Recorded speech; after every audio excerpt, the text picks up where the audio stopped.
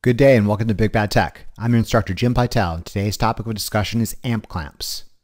Our objective is to take a quick look at a super handy instrument used to measure current known as the amp clamp, alternatively known as a current clamp, clamping ammeter, or clamp meter. It's an ammeter with all the good stuff and none of the bad. Actually, it does have its limitations, but its limitations are small in comparison to its practicality and ease of use. An ammeter, if you recall, is a device used to measure current in units of amps through an electrical circuit. The ammeter is a single point flow rate measurement that must be placed in series or in line with the element under test. This necessitates the messy and time consuming task of powering down a circuit, breaking the circuit at the chosen point of insertion, inserting the DMM in ammeter mode, then powering the circuit up to obtain a single current reading. Wouldn't it be great to have an ammeter that could measure current through a circuit simply by being in close proximity to a circuit? Well, you can. This device is known as an amp clamp, otherwise known as a current clamp a clamping ammeter, a clamp meter, or a clam meter. I have special affection for the name amp clamp because it sounds super cool, but be aware of different industries calling it different things. Please avoid the term clam meter at all costs. It sounds something like a fisherman would use, not an aspiring technician. An amp clamp is an instrument used to measure current through a conductor, just like an ammeter. However, it does not require circuit modifications nor direct insertion into the circuit. An amp clamp has a pair of opening jaws that clamp, get it, around the current carrying conductor of interest. This is especially handy for taking current measurements on semi-permanent electrical installations that are difficult to modify. As we'll learn in later lectures, moving charges have an associated magnetic field, where the direction of the magnetic field is related to the direction of charge movement, and the strength of the magnetic field is proportional to the quantity of moving charges. The presence of the magnetic field in a current carrying conductor allows current to be measured without having to make physical contact with the conductor nor the messy necessity of modifying the circuit for insertion. This is a major time saver, but it does have limitations that you need to be aware of. First, amp clamps don't measure really small values of current very well because the associated magnetic field surrounding the current carrying conductor is very weak. Next, amp clamps don't measure DC current very well because the circuitry inside most amp clamps is actually more sensitive to changing magnetic fields associated with AC current rather than fixed ones associated with DC current. Finally, as easy as these things are to use, you can still screw it up. First, to get an accurate reading, the current carrying conductor needs to be centered inside the clamping mechanism. Secondly, only one current carrying conductor can be inside the clamping mechanism at a time. The inclusion of two or more current carrying conductors inside the clamping mechanism at the same time may result in an erroneous reading because the magnetic fields coalesce and can negate each other's effects, such that the amp clamp falsely reads no current even though each wire could equally be carrying thousands of amps in opposite directions. This drawback is especially apparent when the supply and return conductors are both combined in a single insulated wire. Despite these limitations, they simply cannot outweigh the amp clamp's ease of use. Clamp it around a single conductor, even when the system is running, and read the measured current on the display. This is especially handy for bare bones basic troubleshooting scenarios. Who cares about the magnitude of current? Is there current in a line or is there not? This is akin to continuity testing using a DMM in ohm meter mode. Who cares about resistance? Is there an electrical connection or is there no connection? For the purposes of today's lecture, we'll be making use of the Megger DCM 340 clamp meter.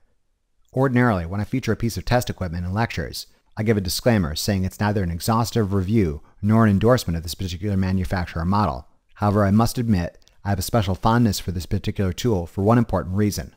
The Megger DCM340 measures DC current. Not all amp clamps can do this.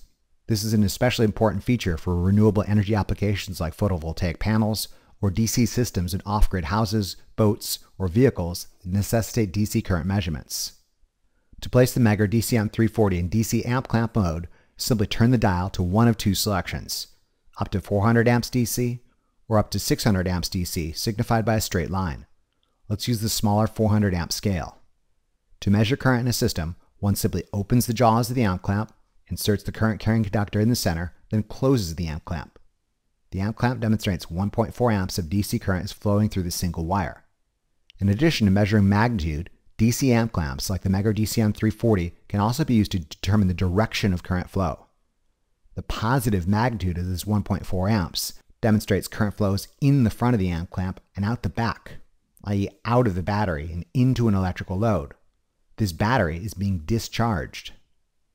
If we're to maintain the orientation of the amp clamp, and we turned off the electrical load and plugged the battery into a charger, the amp clamp now displays negative 3 amps, meaning 3 amps of conventional current is coming in the back of the amp clamp and out the front, i.e., out of the charger and into the battery. This battery is being charged. You note the use of the amp clamp did not necessitate we power off the circuit, modify the circuit to include an ammeter in series, and power it back on, but rather we simply clamped the jaws around the current carrying conductor of interest and read a number. This is a major time saver and the principal reason amp clamps are employed in the field. It's so easy. This being said, you can still screw it up. Here's an example of incorrect placement of an amp clamp where two current carrying wires, both carrying 4.8 amps, one incoming and the other outgoing, yields a false measurement of 0.3 amps. In this case, the equal and opposite magnetic fields are almost canceling each other out. Again, amp clamps can only measure current through one conductor at a time. Since amp clamps are so easy to use, this discussion is brief enough to allow us to explore some additional features in the Megger DCM 340. Beyond DC current measurement, the Megger DCM 340 includes additional functions found in most portable DMMs, including AC voltage, DC voltage, resistance and continuity, AC current, and frequency. Let's do a quick demonstration of each function and call it a day. The three bottom functions, AC voltage, DC voltage, resistance, and continuity, make use of external test leads similar to an ordinary DMM. For background information on voltmeters and ohm meters, be sure to check out the supporting material at the Big Bad Tech channel. In AC voltmeter mode, the Megger DCM 340 demonstrates roughly 120 volts RMS appears from line to neutral in a residential AC outlet. In DC voltmeter mode, the Megger DCM 340 demonstrates roughly 13.1 volts appears across the terminals of the battery undergoing the float stage of the charge process. In ohm meter mode, the Megger DCM 340 demonstrates I've adjusted this potentiometer to exactly 300 ohms. When I increase the resistance above 400 ohms, the DCM 340 indicates over limit. Connection still exists, however we're just over the limits of this device. The audible continuity test sounds a tone for any resistance reading of less than 30 ohms. This is a handy feature because a technician doesn't need to look at the display to interpret numbers. If it beeps, there's a connection of less than 30 ohms. If it doesn't beep, there isn't. The top four functions, AC current, two ranges of DC current, and frequency, use the JAWS as I've previously demonstrated. Among other applications, the AC current clamp can be used to measure current in three-phase AC systems and inrush. In ordinary circumstances, current inside a balanced three-phase AC load is equal in magnitude. For example, consider the slightly loaded one-third horsepower three-phase AC motor drawing 0.9 amps or 900 milliamps in each phase. This is the balanced condition. If, however, the system lost connection to one of these phases, in this case L3, it would no longer be balanced. Current in the remaining phases L1 and L2 increases to 1.4 amps, and the current in the lost phase L3 drops to 0 amps. Amp clamps make the discovery of the lost phase a very simple task. Lock it out, tag it out, and fix the problem.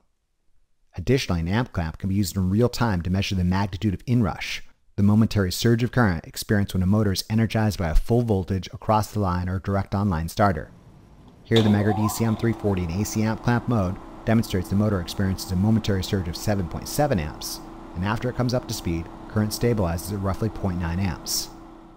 In addition to these modes, the Megger DCM 340 includes an array of additional functions, including a data hold function, as well as a backlit display if you find yourself working in the dark, a min-max button, a peak button, and a zero function used for relative measurements.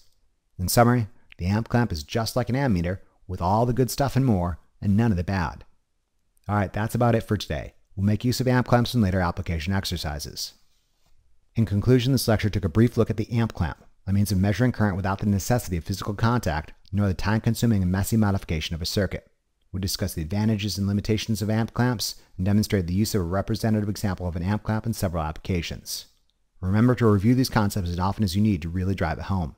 Imagine how well lab will go if you know what you're doing. Thank you very much for your attention and interest, and we'll see you again during the next lecture of our series. Remember to tell your Lazy Lab partner about this resource. Be sure to check out the Big Bad Tech channel for additional resources and updates. Thank you.